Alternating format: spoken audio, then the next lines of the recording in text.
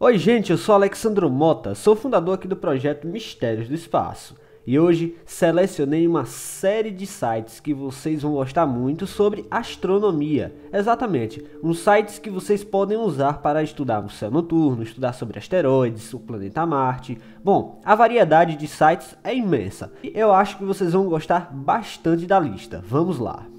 Vamos começar com o Space Telescope Live, tá? que é um site da NASA criado em parceria com astrônomos. O que é o Space Telescope Live? É basicamente o que, é que o telescópio Hubble está observando no momento. Pode saber aonde ele está apontado e para o que ele está é, observando ali. Nesse momento ele está olhando para a estrela IC1613b2, a pedido da doutora Júlia Roman Duval. Aí você pode vir aqui e ver até a proposta da pesquisa que basicamente é alguma coisa relacionada à composição da estrela em si. Aí você pode ler no momento que ele está apontado lá, aí dá a proposta de pesquisa também. Então, se você tem, sempre teve essa curiosidade para saber aonde o telescópio Hubble está olhando nesse momento, inclusive os links de todos os sites que eu falar aqui hoje vão estar aí na descrição, tá bom? É isso aí. O próximo site aqui, é claro, o do o Light Pollution Map. Pois é, aqui você basicamente pode ver tem aonde é melhor para observar e aonde também não é melhor para observar, porque basicamente aqui você tem aonde tem mais luzes ou não. Eu aqui me guio muito para observar baseado nele, para onde eu vou tirar minhas fotos, por exemplo. Eu moro mais ou menos nessa região aqui na Bahia, em Conceição do Coité especificamente.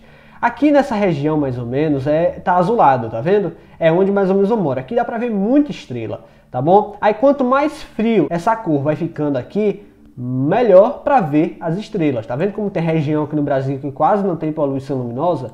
Pois é, realmente muito legal de se ver. E como vocês podem ver, as regiões próximas à costa, que tem sempre cidade próxima, é praticamente impossível de ver é, estrelas. Olha só essa região aqui né, de São Paulo, muita luz, muita luz mesmo, praticamente impossível de ver alguma coisa. Olha só como é também na Europa, praticamente mais impossível ainda de ver com esse tanto de luminosidade aqui. É muita coisa. O próximo site é o Tempo de Marte, ou a previsão do tempo marciano. Um site criado pela NASA para você saber a previsão do tempo de Marte. Para que eu vou querer saber a previsão do tempo de Marte? Ah, para você estudar o planeta, para você saber mais sobre como é o clima do planeta vermelho lá de Marte. Pelo menos eles têm a previsão do tempo para Elysium Planitia, tá? Que é onde está localizada a sonda InSight neste momento. A temperatura mínima naquele momento ali era de menos 90 graus e a temperatura máxima é de menos 3 graus. Olha só, nada agradável. E a última medição aqui foi no dia 24 de junho. Estou gravando esse vídeo no dia 25. É sempre muito bem atualizado, você pode ficar tranquilo quanto a isso.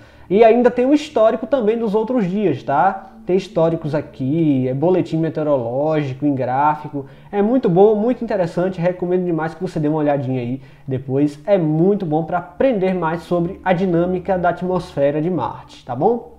O próximo site é o Sol em tempo real. Exatamente. A NASA tem o Solar Dynamics Observatory, que é basicamente um satélite que fica observando o Sol e consegue registrar imagens do, da estrela e atualizar o site aqui ao vivo, basicamente. Não é bem ao vivo, mas é um site muito atualizado com imagens, tá bom? Do Sol. E dá para ver ele em vários comprimentos de onda, tá certo? Olha só, muito legal. E pelo visto a estrela ela tá bem calma. Olha só, não tem nenhuma mancha solar, o que é bom porque, né, não causa tempestade solar e não danifica satélite. É muito legal nesse sentido. E as imagens vêm em horário UTC, ou seja, você tem que converter para BRT, que é o horário de Brasília.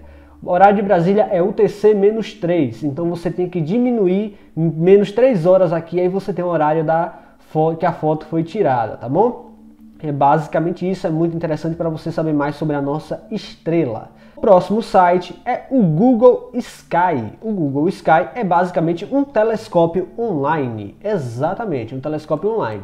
Você tem aqui o céu noturno inteiro e você pode dar zoom em qualquer região do céu e você consegue ver as milhares de estrelas que existem na Via Láctea e além, tá vendo? É muita coisa, é muito legal também. Por exemplo, você pode também explorar as constelações.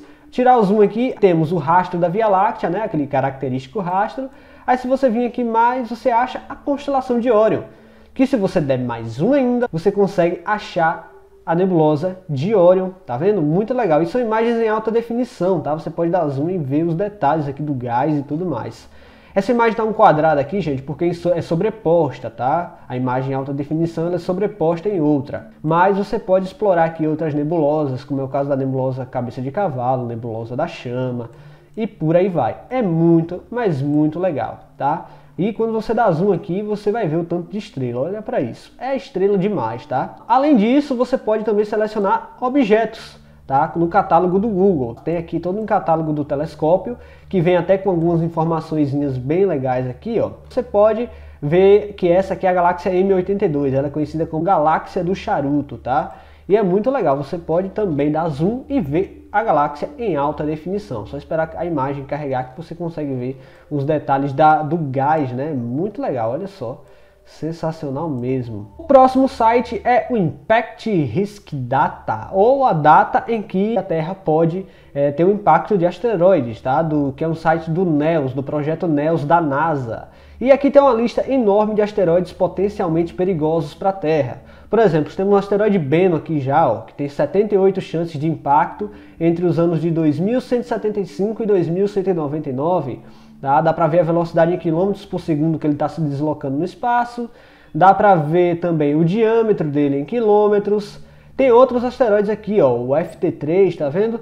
Tem, um, tem 164 chances entre 2024 e 2116 em colidir a Terra, tá? E tem aí os dados de diâmetro, tudo muito legal. Então, se você quiser aqui saber é, quais são as próximas rochas que podem colidir com o nosso planeta em algum momento e a probabilidade também você pode é, ver isso aqui. Você pode acessar o site do NEOS da NASA e você consegue ver todos esses dados. É muito bom, muito interessante também. Eu guardei agora o melhor, na minha opinião, claro, para o final, porque não tem o Skype Web, não tem o WhatsApp Web, por exemplo. Pronto, tem o Stellarium Web. Agora você não precisa mais instalar o programa do Stellarium, tá? Ele agora tem aqui o céu noturno simulado que você pode é, acessar e saber as constelações. Você pode ver aqui a, o rastro da Via Láctea e estudar o céu noturno como um todo, tá bom? Ele é bom porque, olha, você clica em um astro, ele vai aparecer uma abazinha aqui com os dados desse astro, algumas informações. Por exemplo, a estrela Antares aqui está a 553 anos-luz de distância. Tem outras nomenclaturas dela aqui. Tem um tipo de estrela aqui em cima, uma estrela dupla, tá vendo? Por aí vai, além de ter um textinho aqui também sobre a estrela. Você clica no planeta, tem também dados sobre o planeta. Você dá zoom em Júpiter, por exemplo. Olha só, quer ver? Mostra uma imagenzinha de Júpiter e suas luas. É o estelário que é programa, só que Agora na web, né, no navegador você consegue ver também o céu noturno e estudar, né, é bem legal. Aqui você consegue a, adicionar as constelações, é, os desenhos das constelações também, tá? Desativa ou ativa a atmosfera para deixar o céu mais ou menos escuro. É muito legal, tá bom? Se você quer aprender sobre o céu noturno e aprender a observar sem muita dificuldade, recomendo acessar o Stellarium Web porque realmente é muito bom. Fizeram muito bem em colocar a versão web aqui e é de graça, tá bom? É de graça, você pode observar tranquilamente aqui, não tem com que se preocupar. Tá certo? Bom, gente, é isso. espero que você tenha gostado deste vídeo. Não se esqueça de se inscrever em nosso canal, deixar o like aí e também não esqueça de comentar o que você achou deste conteúdo. Até a próxima!